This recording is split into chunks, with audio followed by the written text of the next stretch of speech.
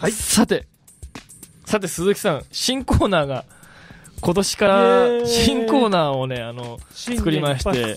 まだタイトルは仮のタイトルなんですが、はい。あの、マニアックスケートクイズ。まあ、りんちゃんマニアックすぎるか。いや、まあ、スケボー続けてる人は大体ね、みんなマニアックなんだけど、うんあのーそう、僕の、僕なんかの知識でちょっとクイズ出させてもらうのはおこがましいんだけどい、やいやいやまあちょっと、あのースケートボードで楽しめるうん。ようなうん。クイズを、うん。考えてきた。あの、考え、あの、作ってきましたので、はえーこれね、結局ラジオなので、音を聞いてもらって、うん。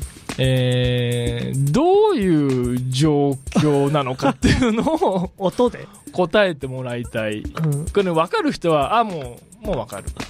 ああ、あれねってなる。あ滑ってる音？まあ、あの、要は、ビデオのワンシーンだね。ううんん、ビデオのワンシーンのう音をちょっと聞いてもらいたいと思う。うんちょっとじゃあ鈴木さん、あの、ノーマルモードで一回ちょっとお願いします。はい。マイクオンのままでいきましょう。さあ、どうでしょいきますね。う。はい、お願いします。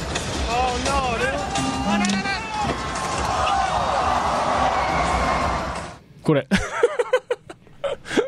これね。なんだ今の何だったんだろこうな。れね、あのーそうだな、あの、たと、例えばというか、あのー以前に番組で紹介させてもらって協力してもらった、あのー今大阪で活動されてるシークレットカットさん、うん。あの中村幸久さんとか、もうその辺のマニアックな人たちだったら、もう一回かけた方がいいんじゃない、うん、もうかけるけど、うん。その辺の人たちだったら、うん。もう1回目で、ああ、はいはいはいはい。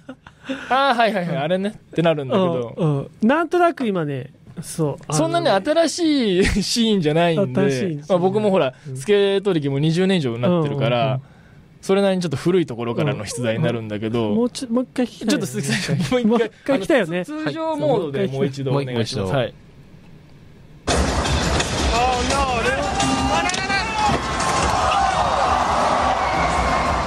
ほら、ちょっとなんとなくねなんとなくねうん。イメージがね。イメージどう、うん。言ってみて言ってみて。なんかね電車か。が音が聞こえたんでね。うん。路線バスか電車の、うん。で「おーノー」って言ってたから、多分あのスケートボードが、あの飛んでっちゃって、まあ、踏まれ踏まれちゃった電車に。いや、いい線いってるよ。あいい線いってる。そんな感じかなって俺は今ねいい線いってる。はいこれねあの、厳密に言うとね、あのー答え言っちゃう？いや、答えはね、番組の最後にね、最後。言おうと思って。ちょっと、あのースケボーによくある、うん。スローモーションも一応今日用意してきたから、スローモーション？スローモーションのバージョンでちょっともう一度聞いてみましょう。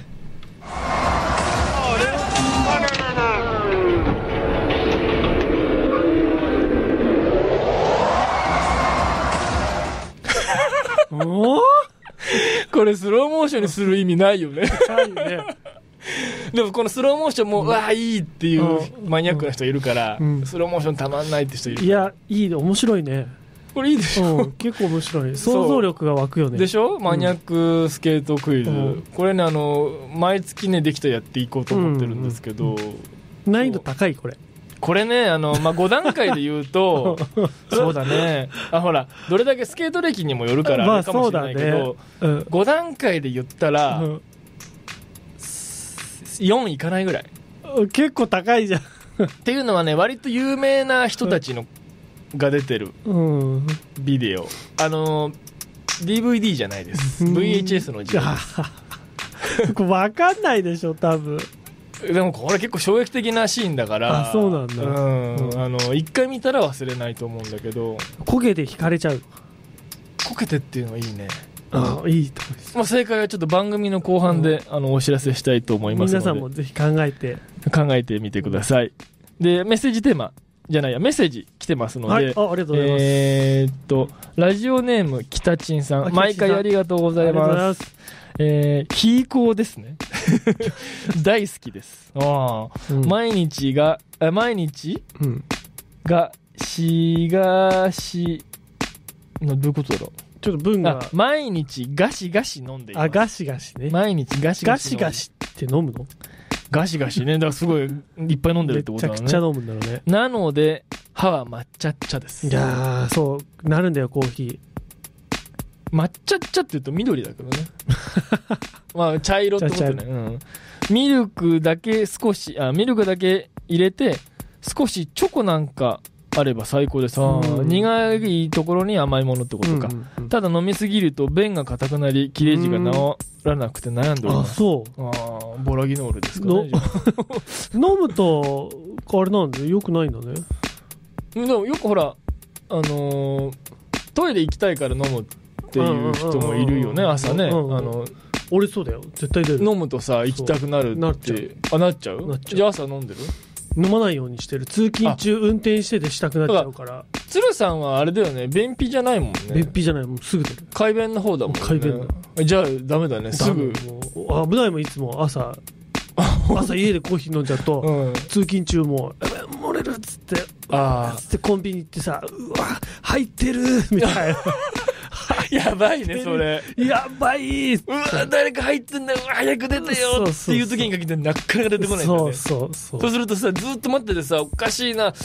入ってるよね 人みたいなさなるじゃん。もしか叩くしてよ叩くよ入ってなくて赤になっちゃってるだけじゃないとか思っちゃうよね。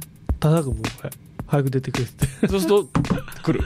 はい来るよ。入ってますよ。入ってます。安心してください。入ってますよ。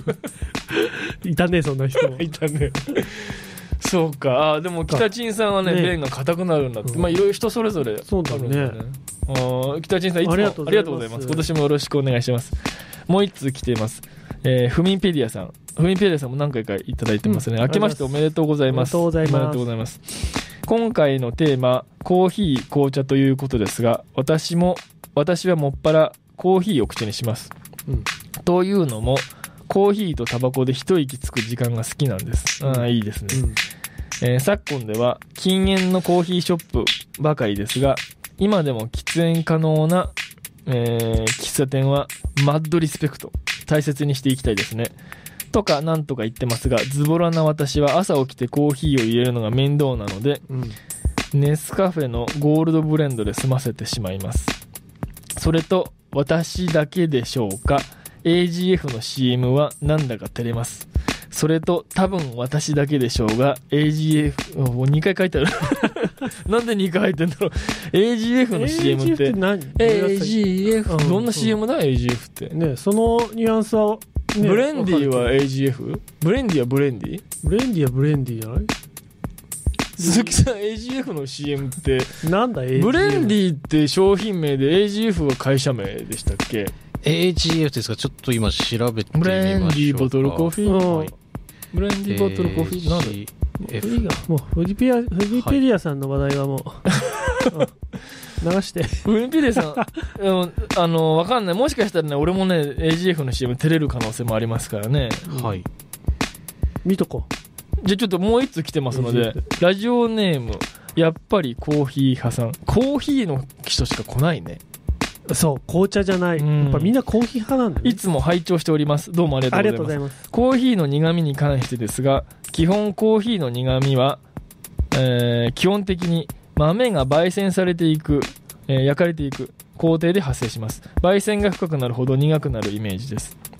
またコーヒーは元はフルーツなので焙煎が浅く質の良いコーヒーは苦味がなくむしろ華やかでフルーティーな紅茶のようです、うん。コーヒーの苦味が得意じゃない人でも飲めると思います、うん。そういったコーヒーは沼津のスイングコーヒースタンドで飲めるらしいです。あ、すいません、告知です。またお便りします。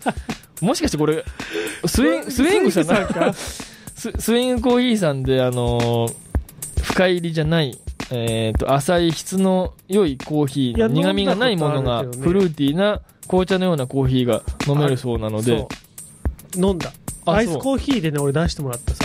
あ、そう。ちょっとね酸っぱい感じのうんそう薄い苦くないコーヒー苦くないコーヒへー。ーなんだっけ何さんコロンビアとかいろいろあるじゃん。うんそうどれか忘れちゃったけど。エチオピアとかね。そうそうあるよねいろいろね。そんな感じだった本当に。へえコーヒーフルーティーな華やかな紅茶のような苦味の少ないコーヒーってことね。うんそうへえありがとうございます。ありがとうございます。やっぱ AG ブレンディーだ。ねこれこの子 CM 言ってんじゃないこの。えどの CM あのあいっぱい出てくる古いね80年そういっぱいあるからね YouTube 見ると。ちょっとふみピレさんまたちょっとあの来月でも構わないね。どんな AGF の CM かちょっと教えてください。はい。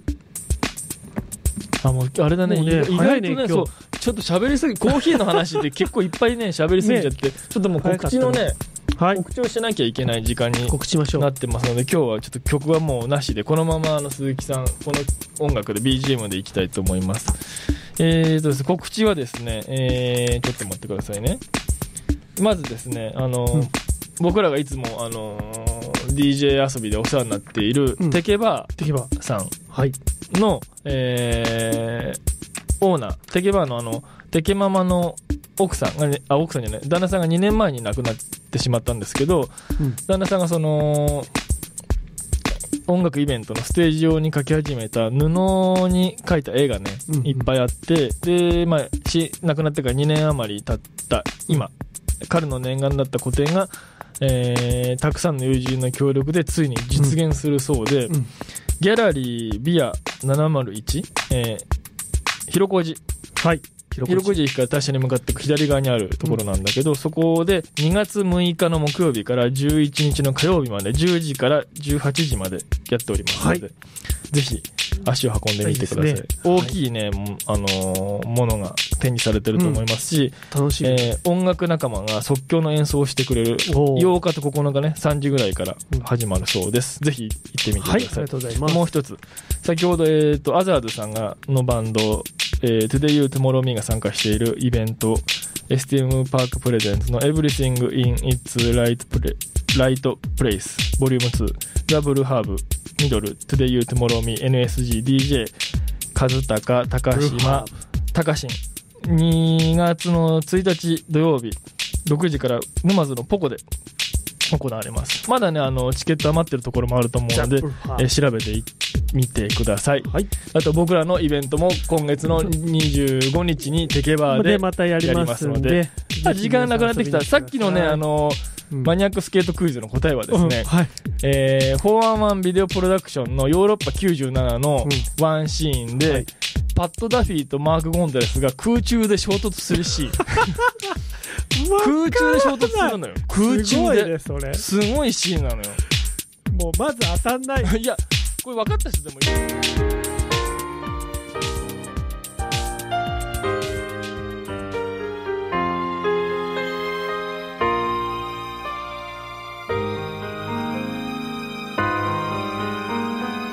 You are listening to FM Izunokuni.